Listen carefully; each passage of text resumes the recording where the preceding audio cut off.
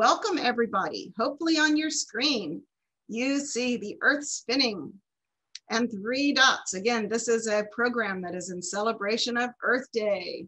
And it is all about fruit from trees we eat. And my name is Debbie. I'm waving at you there if you can see me. Okay, so let's get started. Again, this is a website if you need to go to the website for things to do later on. There are a bunch of storybooks that you can always access. And all of these classes will be recorded. And you can, at the very bottom of that front page, that msnucleus.org, there's a YouTube channel. And you can go to that YouTube channel and watch all of the ones that we have done for Fremont. Okay, and this one will be on there as well. It might take a day or two for Hagos to get them up online. All right. All right, let's keep going.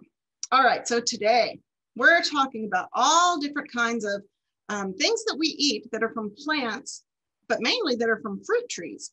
So what's the difference between a plant and a tree? You ever thought about it? Now my background is forestry and wildlife management. So I know a lot about trees. I've had to learn more about the smaller plants like the cultivating and the farming kind of plants. Um, I know a lot about pollinators like butterflies like, but I had to learn a lot about the fruits and vegetable kinds.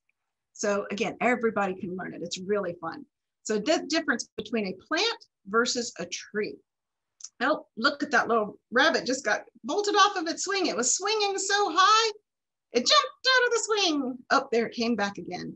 So there you see that swing. That's hanging from a very large plant, right? That's such a large plant. It is a tree because it has that woody growth. But look underneath the tree. The grass, that's a smaller plant. It's not a tree. We do call it a plant or grass. Okay. So again, plants are green, but they can be big or small. Look at that picture over on the right. You see those little dots that are moving? Those are little plants. That's some little algae. Those live in the water and they're just floating around. That's what a lot of our ducks like to eat. All right, so again, plants are green and they can be big or small. Plants take in carbon dioxide and they breathe out or release oxygen, which is perfect because you as a kid, you are breathing in oxygen and you breathe out carbon dioxide. That's why it works so well to have plants and animals together because those plants, while they're doing all of that breathing, they're actually helping to clean our air. And our plants provide lots of food for organisms like us too. And if you look at that big tree, so the all trees are plants, but not all plants are trees. Does that make sense? Okay. All right, let's keep going. So our main ideas in our class today is going to be that a tree is a plant that has many shapes and sizes, right? And trees help clean the atmosphere and they increase the oxygen. They help clean up that CO2. They also provide lots of food for animals and humans, okay? Just our trees that are planted around our neighborhoods and our own yards, as well as those that are planted in the parks, provide lots of food for other wild animals. But that, did you know that humans, that we can invent trees? We create different types of trees. That's pretty cool. So if you look at this picture, this shows you a picture of a tree. Starting at the very bottom, you see how the roots are all spread out? And the roots are actually taking in all of the water and the minerals from the soil that the tree needs. And then those are carried up through the trunk of the tree, that main central part. Then it gets out to the leaves. So that very top picture, you see that plant is actually transpiring. It's giving off a little bit of water, moisture, as it's getting rid of its oxygen too. So again, a plant can transport its food. It makes its own food and it uses, again, the minerals and the water from the soil. And again, it needs sunlight, all this too. So that's pretty cool. So again, these trees, they're pretty amazing. As you walk around, Notice the different types. Notice how tall. See if you can find the tallest tree in your neighborhood or see if you can find the biggest tree that's biggest around. Those are what we call treasure trees. So see if you can find those in your neighborhoods. All right, now again, for a growing plant, it has to have a few things in order to be able to grow. So it has to have that sunlight. The sunlight gives us the UV light, okay? That's what the plant has to use in those leaves to photosynthesize. Can you guys say photosynthesize? Photosynthesize. It's a big word. All it means is that a plant can make its own food because it's got its roots planted in the ground, right? It can't get up and walk around. It can't move around. So it has to be able to get all of its minerals, everything it needs right where it sits, right where its roots are planted. So we've got our sunlight coming in. And at the very bottom, you see again the water and the nutrients coming in from the roots. And you see it's breathing out the oxygen and taking in the carbon dioxide, okay, which is exact opposite. That's what we need. We need the oxygen, okay?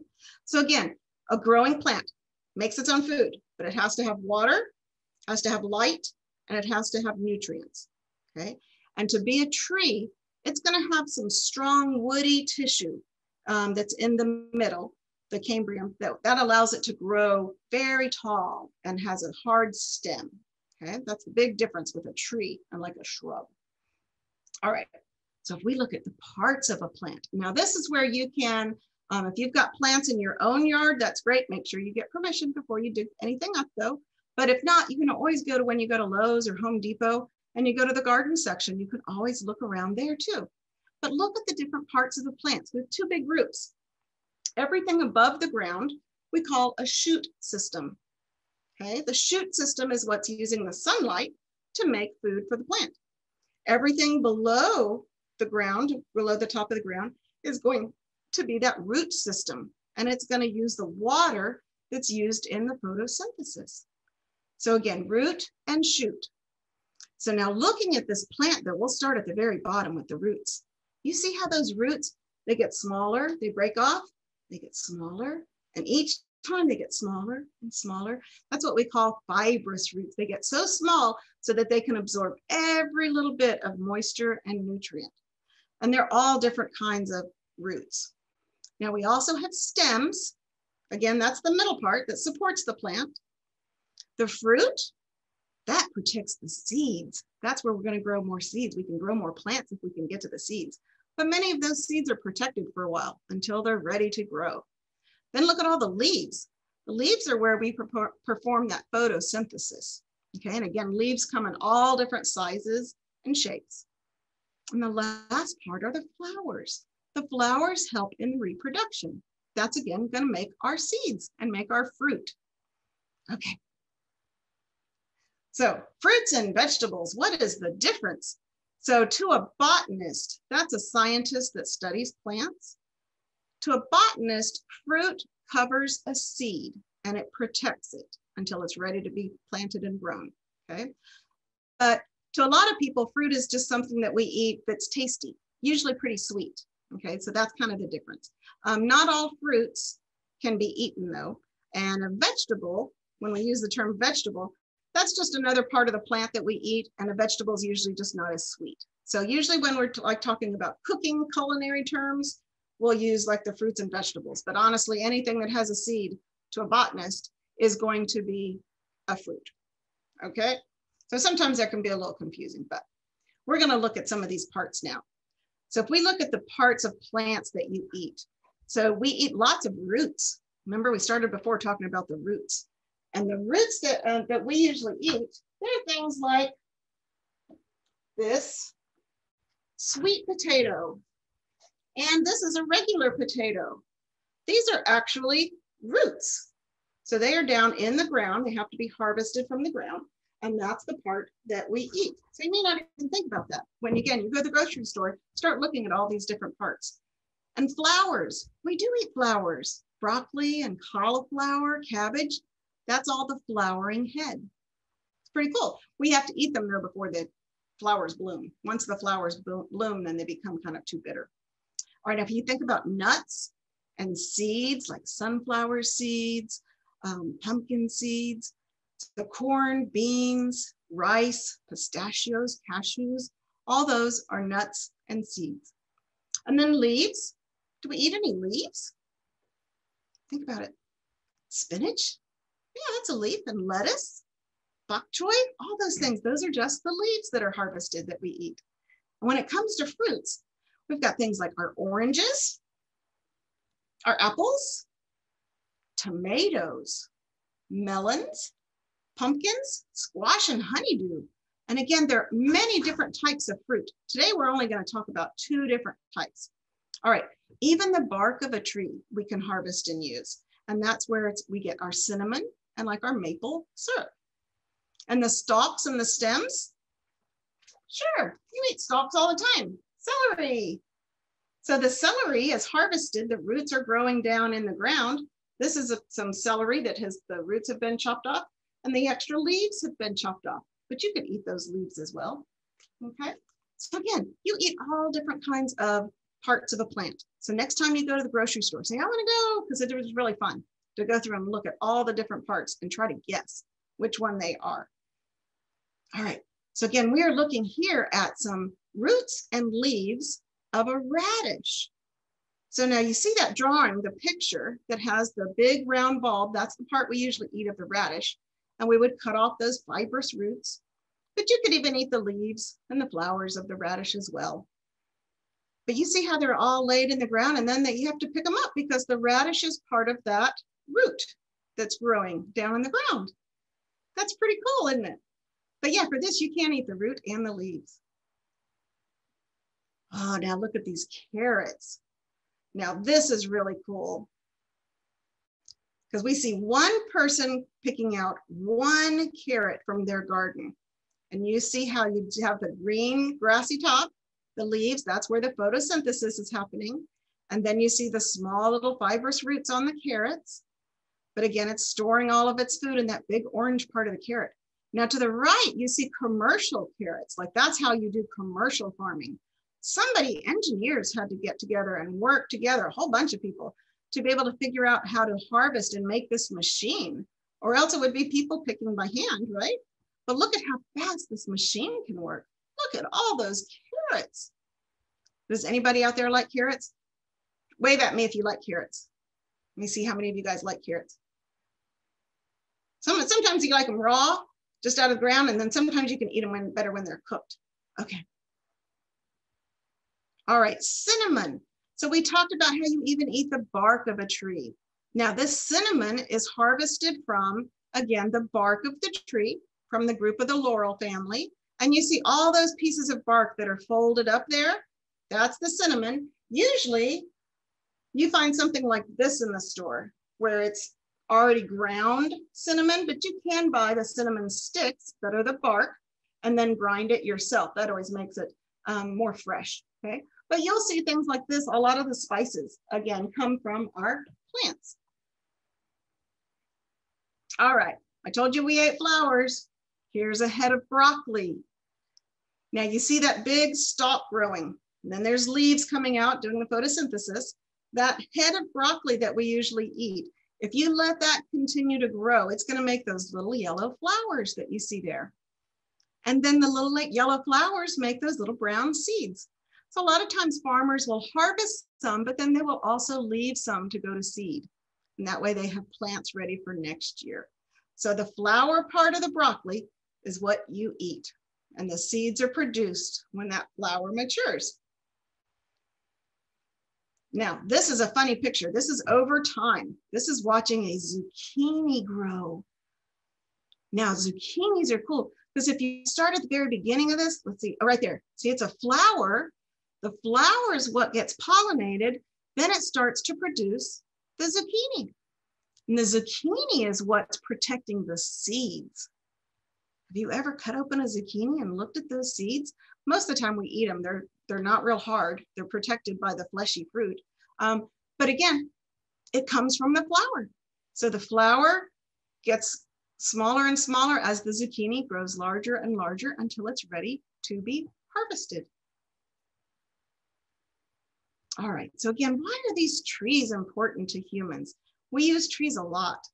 So we look at, we use the wood in construction and we use the pulp, the wood pieces for toilet paper, tissues, even the paper that you write on and the newspapers and the books that things are printed on. And you see again, the bottom picture with that bark. We use those leaves and the bark again for spices.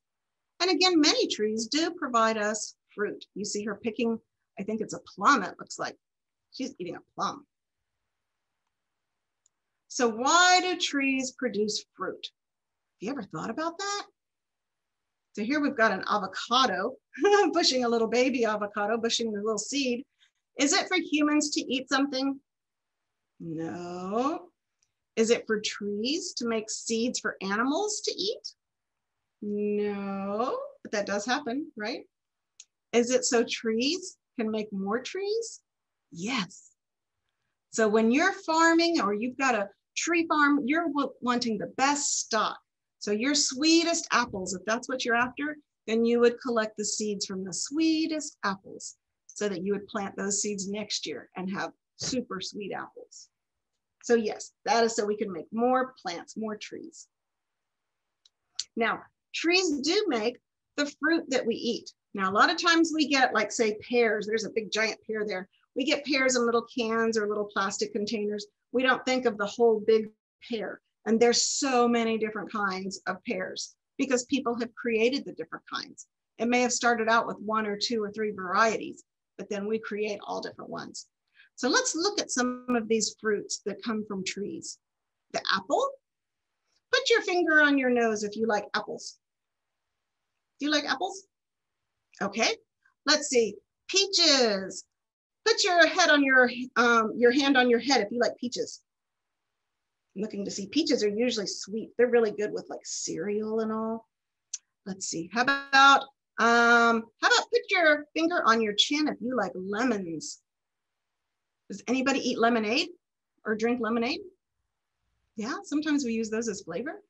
How about oranges? Put your finger on your nose if you like oranges. Yes, and those could be like tangerines and tangelos, all different kinds of oranges. How about put your finger on your head if you like plums? Anybody like plums?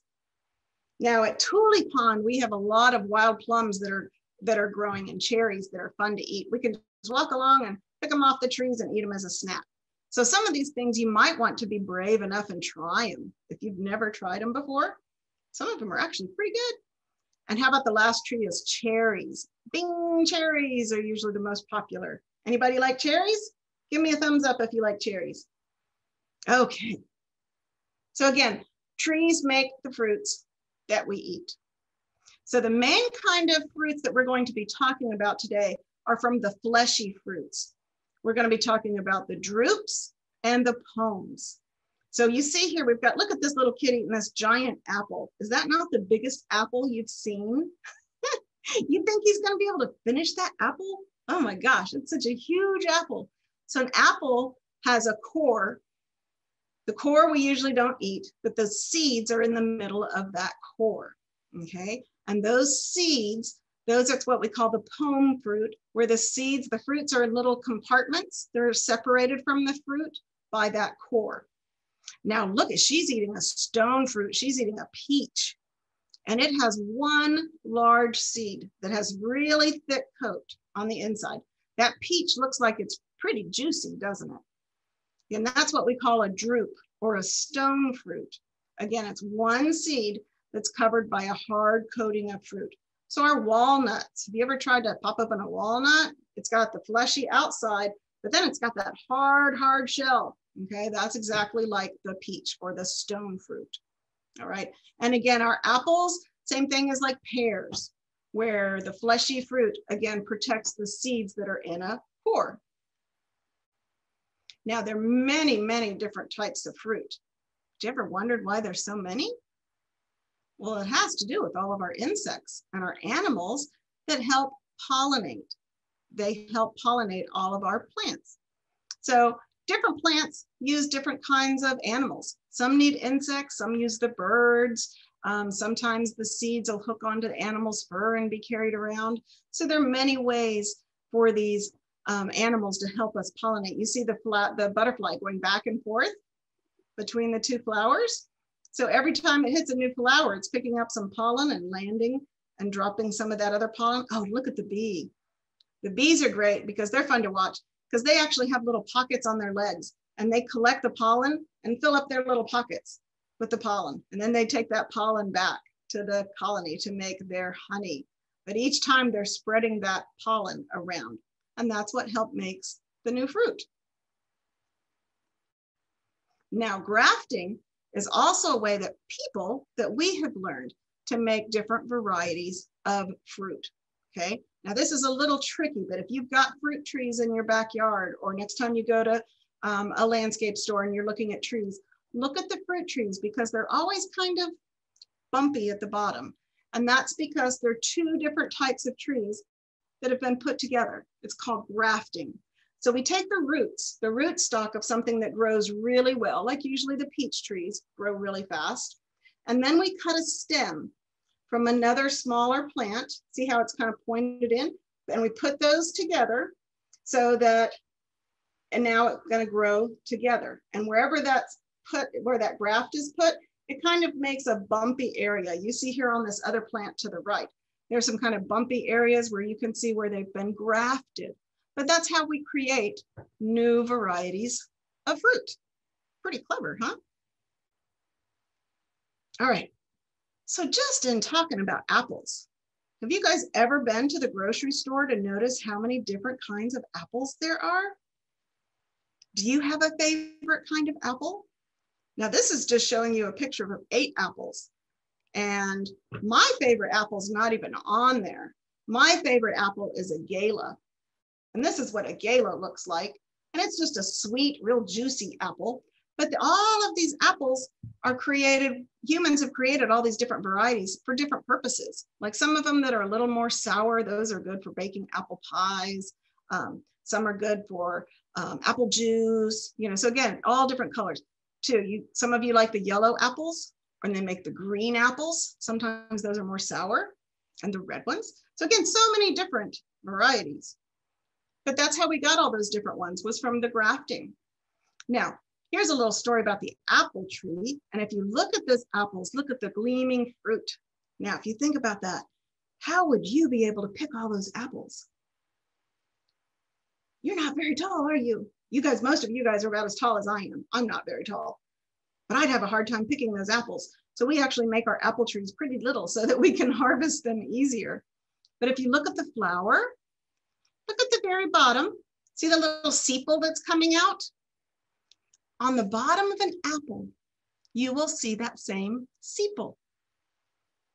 So the bottom of the flower is actually on the bottom of the apple. So what happens is that part where the ovaries are, that's where the seeds are going to be produced. And again, it creates all that fleshy stuff around the apple to protect those seeds in that core. That's pretty cool that it can protect those seeds.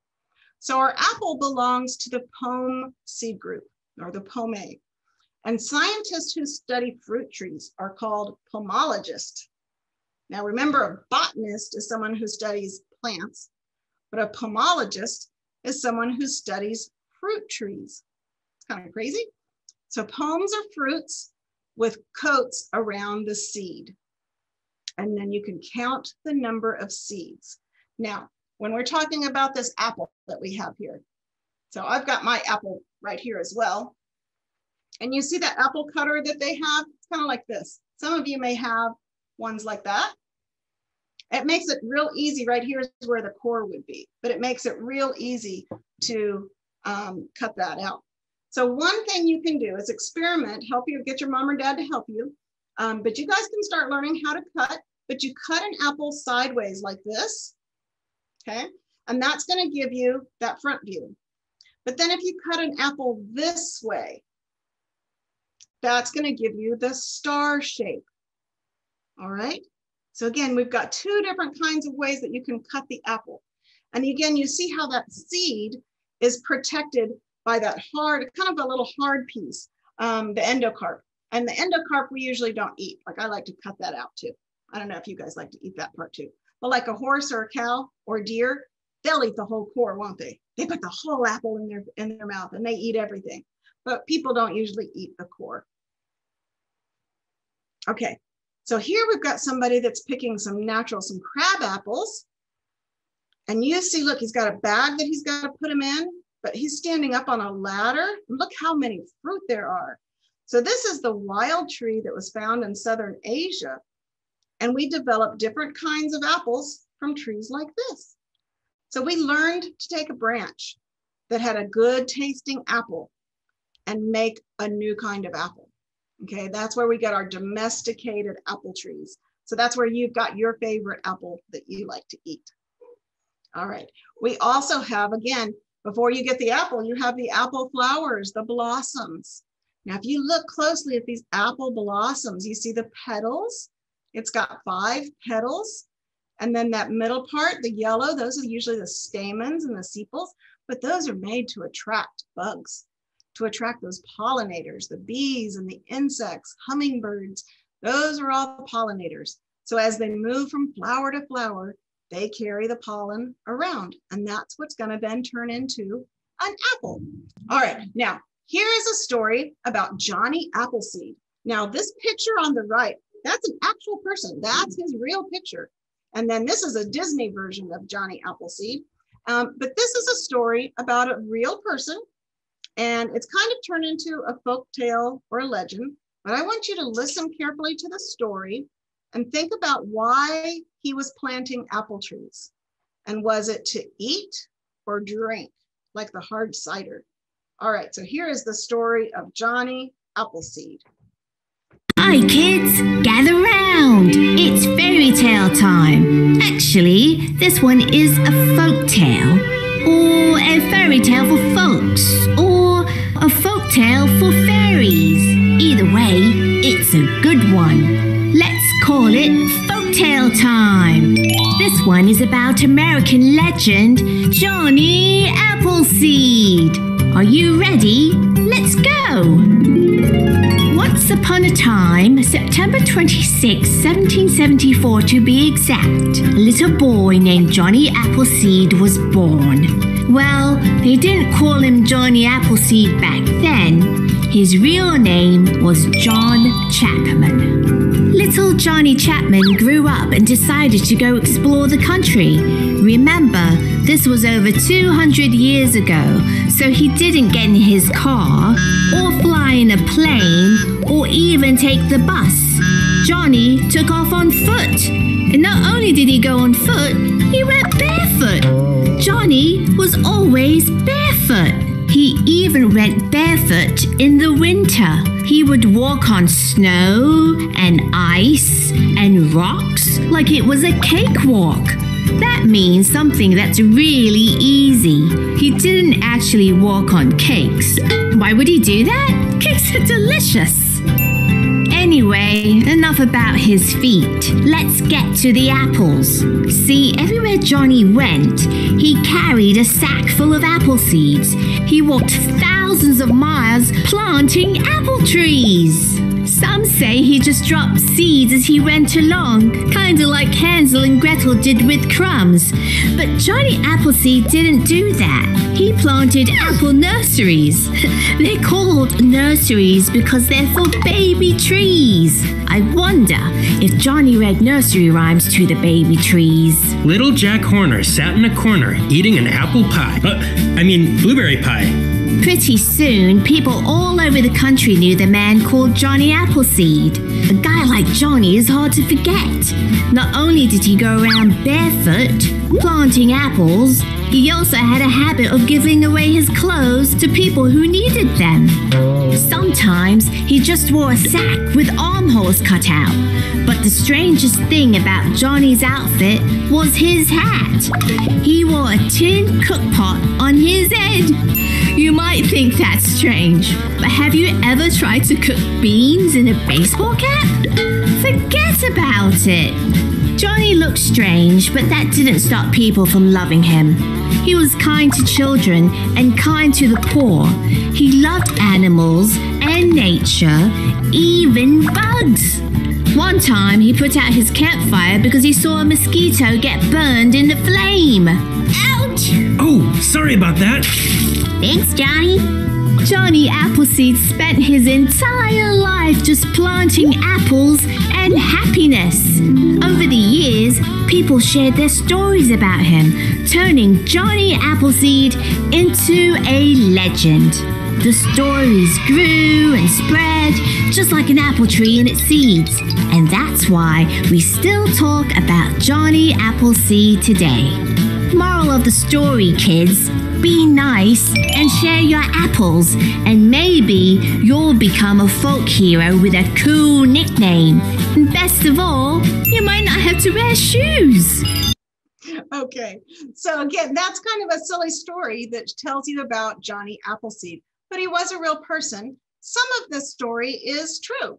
Um, he was originally from Austria and he did travel around barefooted. He believed that he shouldn't have a lot of extra stuff and he wouldn't ever ride a horse. He um, would just walk himself. But there is more to the story. That's before there were a whole lot of settlers here and they needed to have an orchard and able to be able to set up their land. So he knew, he was a pretty smart man. He knew that if he set up some some apples, if he set up some nurseries and started the apple trees growing, that then people would come there and then he would have he would have apples to sell or they would have to buy his parcel of land and they would use those apples then for making their hard cider. So again, more to the story, but that's how stories get passed down over time. It's kind of funny if you think back through some of the stories in your own family. If you're lucky enough to have grandparents and all living with you, ask them about some of their old stories and how things are changed over time. But it's kind of funny. So that's the Johnny Appleseed, but he did indeed plant a lot of orchards all over the United States with these apples. So now modern day, when it comes time to harvesting all these different types of apples, there's so many different types and we have a lot of different ways to harvest them. You saw earlier, somebody was picking them by hand. And now look at this one that's shaking the tree. There's a big machine and then you still have to pick up all the apples off the bottom, right? There's probably a machine for that too. But then look at this one over here. There's a big giant, like a vacuum. It's a robot that's actually sucking the apples off. So if they're ripe, they will come off. If they're not ready yet, then they'll hang on to the branch. Kind of funny, huh? So again, it takes more than just a botanist to make an apple orchard. It takes lot physicists, lots of different um, types of workers have to be involved. Now, why should you eat an apple? We used to always hear the saying, an apple a day keeps the doctor away. And that's because our apples give us lots of different things. Main thing they give us is fiber. Because if you have enough fiber, then that means you'll poop. A lot of kids end up going to the emergency room because they can't poop. They're constipated. and that's a problem. Whereas if you eat an apple and, and fruits that have a lot of fiber, then that solves that problem. All right.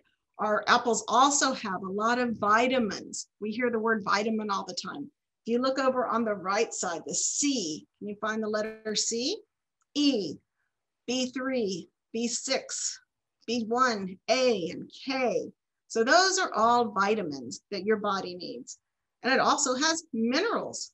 Can you find the letter K, the letter P, that's phosphorus, Ca is calcium, Mg, magnesium, Na is sodium, iron, and zinc. So again, lots of important vitamins and minerals are provided in this apple. And it's only about 60 calories. So it's a good, great little snack. And it's already does has its packaging, you know, doesn't have to have anything packaged around it. All right, but another type of fruit that we're looking at today is the one with the stone fruit, and that's our peaches. So this is a, you see a nice little peach being picked here that has kind of a fuzzy outside. And look at that pretty peach flower. Look at that pretty blossom. See, it's got kind of a pink color and you see the yellow pollen that's at the very end of those pistils. And look at the bottom of the flower. You see those little sepals. That's again gonna be on the bottom of the peach. So here's a funny story. Listen to the words. He goes really quick, but listen to the words if you can.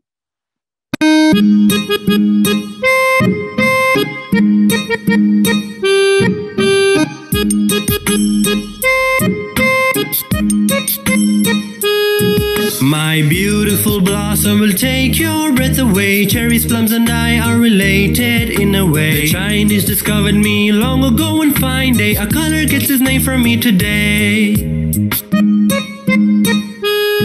My skin is velvety and a yellowish red. In the center is a seed in a woody pit red. Yellow, juicy, and sour sweet is my flesh. Have me with my skin ripe and fresh. Me raw or in the form of dishes, rich in vital minerals. I'm highly nutritious. My jams, jellies, juices are simply delicious. Name me, I'm so very luscious. You're a peach and indeed precious. that was a lot of information, lots of quick words. But again, it gave us lots of information about a peach. Now, the natural peach is the small little tiny thing that was found, um, three varieties that were found in China originally. And it tasted kind of earthy. Sometimes it was sour, sometimes it was sweet. It had a waxy skin. It wasn't very edible. Um, and you see it was very small. Most of it was taken up by the stone seed that was on the inside. So now over the years, look at the peach that we have engineered. We've created over 200 different types of peaches. And this one tastes real sweet and it has a very soft skin. So again, very different than the original. And that's just by each time picking the seeds that was the apple that or the peach that we like to eat and then just reproducing those seeds. All right, so now these peach pits on the inside, remember the girl at the beginning that was eating her juicy, juicy peach? The inside is this peach pit, and that's where the seed is. It's got this hard woody covering, and we call it a drupe or a stone fruit, okay? So inside that woody covering is just one seed that has that hard covering and the fleshy fruit. All right, so here's the activity that we have to do. And if you have this sheet, great. If you don't have it, don't worry about it. All you need to do is just kind of, if you have time later to look at the difference between an apple and a peach. In studying trees, your teacher will give you a worksheet that you can color up to look like this. The bottom is an example of an apple. Again, you may want to color your apple yellow or green, whichever type you like. And this top is a peach. Okay, now we're looking at the seeds that are inside these fruit. So I've got an apple here. You can get your mom or dad to cut the apple so that it's cut in half, what you're looking for, this part right here, that's the core. So I've got a little bit of the core on each of these sides here, another piece here. And then I've got a dark seed, but then there's a hard membrane right here behind that. So that's why we usually cut out the core. That hard membrane is what protects that seed. So again, if you can get your mom or dad to help you cut the apple, then you've got it to eat as well. Okay, so again, that was showing you how to cut the apple when you're cutting it right down the middle or through the core. Then you can also try to cut it a different way as well so that you get that star. But let's look at some fruits that we have from other trees. We get lemons, cherries, pomegranates, apricots, and pears. Look at Donald Duck over there. Not sure what he's harvesting. Up oh, there's another one's on a ladder, putting them in a bag. Let's see what we can find out. So here's a lemon tree. Here's someone harvesting a lemon. I see lots of lemons in um, Fremont, and you see a piece of the lemon cut open so you can see the inside. And then you see also the flower of the lemon and it says, I put pucker and lemonade. I'm a little sour, that's how I'm made. But if you forget to wear your coat or find yourself with a sore throat, I'm around and yellow like the sun. And vitamin C, I have a ton. So that's why we always have the lemon, like the warm lemon juice, um, if you've got a sore throat. Here's a cherry tree. Has anybody ever seen those blooming? We have them in, in um, Washington, D.C., all along those cherry trees, trees that bloom. And you guys have a bunch there too. Uh, but look at this, cherries, cherries, ruby red. Want to try one? Go ahead. Cherry pie or cherries jubilee. Find the pit and plant a cherry tree. So if you look at her playing with these cherries down here, these are probably those Bing cherries. There is a hard pit in the middle, just like our peach, okay? It's got that hard pit in the middle. So when you're eating them, and especially the ones we eat at Thule, we pop in our mouth and we kind of wiggle around and we get all the soft stuff off, and then you poof, you just poof, spit out the the seed and it lands on the ground and wherever it lands, it might grow a new tree. Oh, pomegranates. Now this is an odd fruit. Look at how big that fruit is. Big and red. We see them a lot around Christmas time. And when you cut the pomegranate open, look at all those little balls, all those little seeds. And look at that raccoon. That raccoon's going nuts over those seeds. So for the pomegranate, my outsides are hard. You can't eat my skin. Only the seeds you find within. I come from India and I'm good for your heart. My seeds sometimes are sweet and sometimes are tart. So that's the pomegranate. But look at all those seeds. Is that, that's not totally different than when you cut an apple open, right? Or an orange. Yeah, totally different. Okay, here's an apricot tree. Now an apricot is very much, um, you see the, the, yellow and look at those beautiful flowers, kind of the creamy um, pink. And you see, oh, I see monarch butterflies all over those apricot flowers.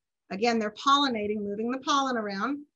And look at all the fruit on that branch. It's got so much fruit on that branch, it might break that branch. So they've got to get that apricot harvested. And the pear tree, there's a partridge in a pear tree. Now, when our pear trees bloom, they have these white flowers, but they're smelly. They're smelly flowers. They have a lot of sulfuric acid in them. Um, but as you see these pears, a close picture of a pear, um, when you cut it open, it's a lot like an apple. It has some seeds that are protected right in the middle by the core. Okay, so if you've never eaten some pears, they're usually pretty soft and pretty sweet, and again, all different kinds. And you don't have to eat them out of the can or the plastic container. You can actually eat it just like an apple. Okay, all different kinds. Now, are fruit only from trees? This is a hard one. We've got a whole bunch of stuff coming out of this tree. Oh, some grapes and a strawberry. There's an apple that's coming out. Oh, that looks like an artichoke. Bananas. Oh, eggplant. Do you think all of those come from trees? What do you guys think? I'm sitting there looking. No, you are right. So if we think about things like kiwis and strawberries and blackberries, have you guys ever eaten any of those? Yeah, if you've eaten any of those, they do not come from trees. The kiwi is grown from a vine, kind of like grapes. You see how that vine is up off of the ground? And look at its beautiful white flower and you see the yellow pollen. So underneath my bristly skin, my luscious fruit is housed within. I'm full of seeds, my flesh is green. I've the prickliest skin you've ever seen. Kiwi Kiwi is my name. My juicy insides are my fame. So when you cut open a kiwi, the outside again is hard and bristly. We don't eat the outside part, but the inside part is full of seeds and juice a strawberry. Look how many seeds that has. Look at all those. All those seeds are protected in that fleshy part. But a strawberry grows on the ground and it grows from short stem runners. So it just keeps growing from stem to stem. That's pretty cool. And you see the white flower. So again, once that white flower gets pollinated, that's what's going to turn into the strawberry that you can eat. So again, those are harvested just straight from the vines on the ground. Now, blackberries. You have to be careful with blackberries because sometimes they have thorns.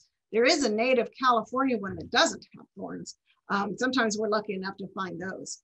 And you see the roots there of the plant and you see the pretty flowers. And as these seeds are again coming into when they're ripe, they're going to be the probably the darker color. If you ate one of those red ones, you'd make a sour face. Can you guys make a sour face for me? What would a sour face look like? Ooh, yeah, if you pick fruit that's not quite ripe yet, it's gonna be sour. All right, so which fruits were important in early human time? If you think about it, before we had refrigerators um, and big ovens and things like that, it was important to be able to have foods that you could preserve and keep for a very long time. So that's where we get things like raisins. So raisins are grapes. When the grapes are dried, they become the raisins. Look at that's a dancing California raisin. California produces most of the raisins in the United States. So that's why we have our dance in California raisin. Now, the one in the picture in the middle, that's a fig. Has anyone ever eaten fig Newtons? I like fig Newtons. And figs are good in a salad and all too.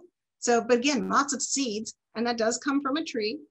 But again, the figs could dry over a period of time. Um, and then we've got even prunes. So the prunes could also dry and you could keep those around for a long time.